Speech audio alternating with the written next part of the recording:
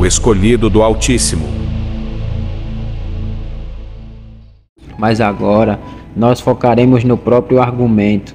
Em primeiro lugar, mantemos a perseverança dos santos de maneira muito clara, a partir da natureza da vida que é dada na regeneração.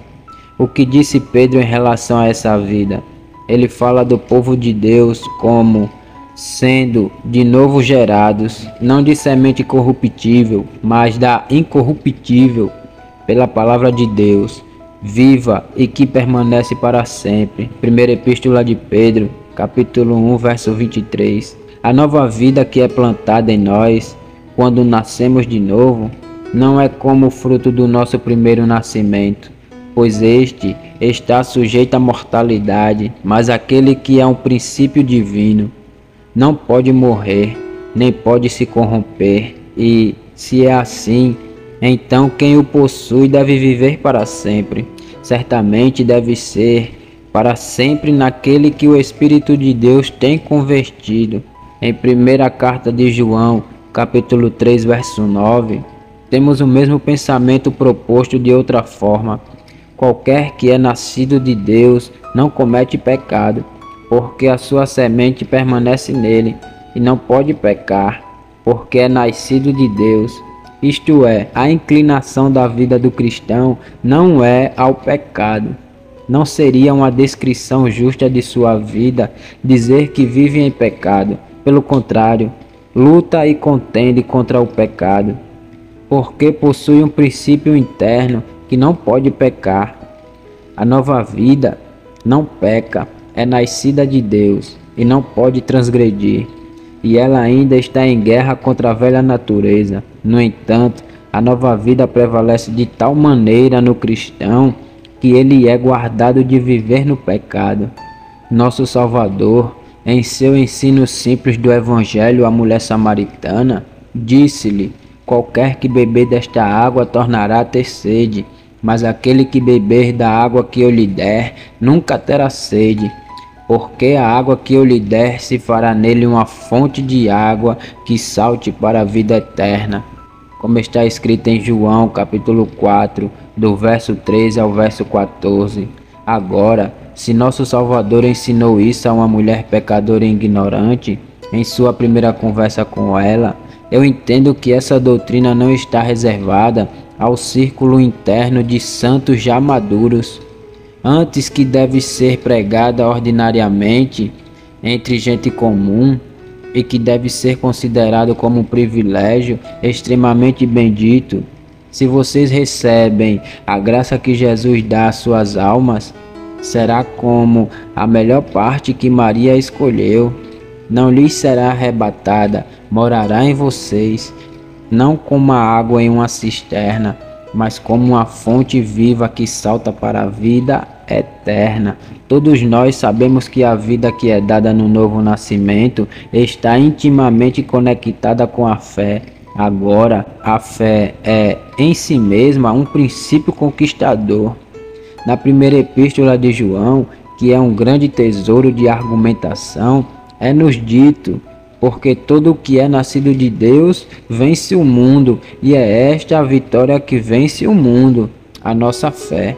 Primeira Epístola de João, capítulo 5, verso 4. Quem é esse que vence o mundo, senão aquele que crê em Jesus, o Filho de Deus? Vejam, então, que o que é nascido de Deus em nós, isto é, a nova vida, é um princípio conquistador, não é sugerido nenhuma vez que possa ser derrotada e a fé, que é um sinal exterior, é em si mesma uma triunfadora eterna. Portanto, necessariamente, porque Deus tem implantado uma vida tão maravilhosa em nós, tirando-nos das trevas e nos levando à sua luz admirável, porque nos tem gerado novamente a uma esperança viva pela ressurreição de Jesus Cristo dentre os mortos.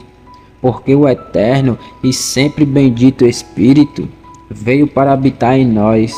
Assim concluímos que a vida divina em nós nunca morrerá. O justo seguirá seu caminho firmemente. O segundo argumento, para o qual solicito a atenção de vocês, é deduzido das declarações expressas do próprio Senhor. Aqui vamos examinar novamente o Evangelho de João, e em seu bendito terceiro capítulo, no qual nosso Senhor estava explicando o Evangelho da maneira mais simples possível a Nicodemos.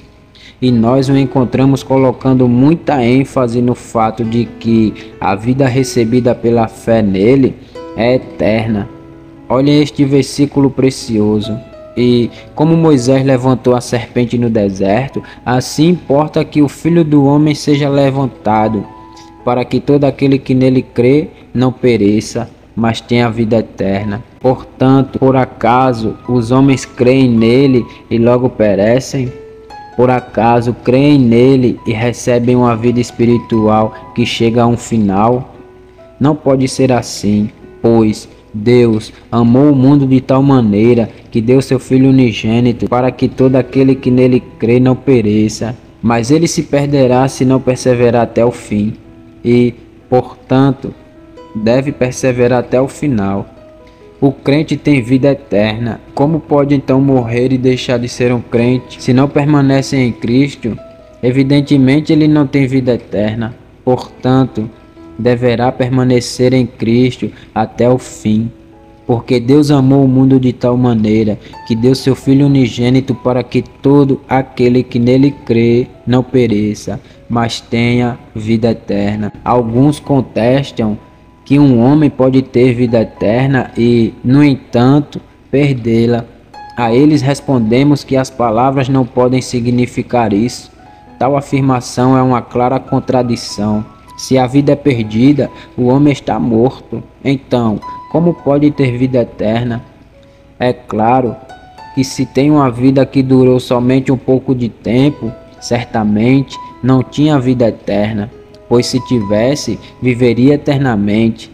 O que crê no Filho tem a vida eterna. João, capítulo 3, verso 36. Os santos no céu possuem vida eterna e ninguém espera que eles morram. Sua vida é eterna, mas a vida eterna é vida eterna. Quer a pessoa que a possui habite na terra ou no céu. Não necessito ler todas as passagens nas quais essa mesma verdade é ensinada, mas mais adiante, em João 6, verso 47, nosso Senhor disse aos judeus: Em verdade, em verdade vos digo: quem crê em mim tem vida eterna. Não a vida temporal, mas vida eterna. E no versículo 51 disse: Eu sou o pão vivo que desceu do céu. Se alguém comer desse pão, viverá para sempre. E logo vem esta famosa declaração do Senhor Jesus Cristo, que se não existisse outra, seria mais que suficiente para demonstrar nosso ponto. E dou-lhes a vida eterna, e nunca hão de perecer. E ninguém, a palavra, homem, não está no original, as arrebatará da minha mão. João, capítulo 10, do verso 28 ao verso 29. Meu Pai, que mais deu, é maior do que todos e ninguém pode arrebatá-las da mão de meu Pai. Que significado isso tem, senão este? Que ele agarrou seu povo e que tem a intenção de sustentá-lo muito seguramente em sua mão poderosa. Onde está o poder que pode nos atingir? Ou quem poderá nos arrebatar de sua mão? Acima da mão de Jesus, que foi perfurada, vem a mão do Pai onipotente, como uma espécie de segunda aderência. Meu Pai, que mais deu, é maior do que todos, e ninguém pode arrebatá-las da mão de meu Pai. Isto deve mostrar com toda segurança que os santos estão seguros de qualquer coisa, de tudo que poderia destruí-los, e por consequência estão protegidos da apostasia total. Outra passagem que afirma o mesmo também é Mateus 24, verso 24 na qual o Senhor Jesus falava dos falsos profetas que enganariam a muitos. Porque surgirão falsos cristos e falsos profetas, e farão tão grandes sinais e prodígios que, se possível fora, enganariam até os escolhidos. E isso demonstra que é impossível que os escolhidos sejam enganados por eles. Das ovelhas de Cristo é dito, mas de modo nenhum seguirão o estranho Antes fugirão dele, porque não conhecem a voz dos estranhos. mas por instinto divino eles conhecem a voz do bom pastor e o seguem. Desta maneira, nosso Salvador declarou, tão sinceramente como as palavras podem expressar, que aquelas pessoas que são seu povo possuem a vida eterna neles e não perecerão, mas que entrarão na felicidade eterna. Prosseguirá o justo o seu caminho. Um argumento muito bendito para a segurança do crente se encontra na intercessão de nosso Senhor. Não necessitam buscar a referência bíblica, pois vocês a conhecem muito bem, que mostra a conexão entre a intercessão viva de Cristo e a perseverança de seu povo. Portanto, pode também salvar perfeitamente os que por ele se chegam a Deus, vivendo sempre para interceder por eles. Hebreus 7, verso 25. Nosso Senhor Jesus não está morto. Ele ressuscitou, subiu à glória e agora intercede sobre a base do mérito de sua obra perfeita diante do trono eterno. E conforme ali intercede por todo o seu povo, cujos nomes estão escritos em seu coração, como os nomes de Israel estavam escritos no peitoral do sumo sacerdote. Sua intercessão salva seu povo até o fim. Se quiserem um exemplo disso, devem ver o caso de Pedro, que está registrado em Lucas, capítulo 22, no verso 31 e 32, em que nosso Senhor diz: Simão, Simão, eis que Satanás vos pediu para vos cirandar como trigo, mas eu roguei por ti, para que a tua fé não desfaleça, e tu, quando te converteres, confirma teus irmãos. A intercessão de Cristo não salva seu povo das provas nem das tentações, nem de ser sacudido de cima para baixo como o trigo na peneira, nem tampouco salva de uma certa medida de pecado ou dor, mas sim salva da apostasia total. Pedro foi conservado, e ainda que ele tenha negado o Senhor, isto foi somente uma exceção à grandiosa regra de sua vida. Pela graça prosseguiu seu caminho mas não somente neste momento, mas muitas outras vezes, mesmo que tenha pecado, tinha um advogado diante do Pai, Jesus Cristo, o justo. Se vocês desejam saber como Jesus intercede, leiam com calma em suas respectivas casas esse maravilhoso capítulo 17 do livro de João. A oração do Senhor. Que oração é essa? Estando eu com eles no mundo, guardava-os em teu nome. Tenho guardado aqueles que tu me deste, e nenhum deles se perdeu, senão o filho da perdição, para que a escritura se cumprisse. João 17, verso 12. Judas se perdeu, mas Judas foi dado a Cristo como um apóstolo e não como uma de suas ovelhas. Ele tinha uma fé temporal e manteve uma profissão temporal, mas nunca teve vida eterna pois do contrário teria vivido. Esses gemidos e esses clamores do Salvador que acompanharam suas súplicas no Getsemane foram ouvidos no céu e foram respondidos. Pai Santo, aos que tu me deste, guarda-os em teu nome. O Senhor os guarda por meio de sua palavra e seu espírito e os guardará. Se a oração de Cristo no Getsemane foi respondida, quanto mais razão é escutada esta que se eleva até o próprio trono eterno. Com clamores e lágrimas ele ofereceu sua humilde súplica na terra, mas com autoridade solicita agora, entronizado em glória, para aqueles que vêm a Deus por ele. Salvação ele demanda, assinala seus nomes gravados em seu peito e estende suas mãos traspassadas. Ah, se meu Senhor Jesus intercede por mim, não posso ter temor nem da terra nem do inferno. Essa voz que vive e que intercede tem poder para guardar os santos e também o tem no próprio Senhor vivente, pois ele disse: Porque eu vivo e vós vivereis. João 14, verso 19. Agora temos um quarto argumento. Acumulamos uma segura confiança na perseverança dos santos pelo caráter e obra de Cristo. Vou ser muito breve nisso, pois confio que vocês conhecem tão bem o meu Senhor que não necessitam de nenhuma palavra de recomendação da minha parte.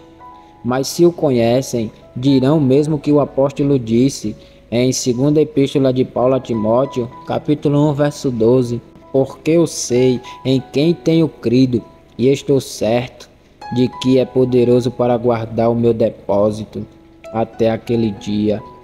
Ele não disse, eu sei no que tenho crido, como cita a maioria das pessoas, mas eu sei em quem tenho crido.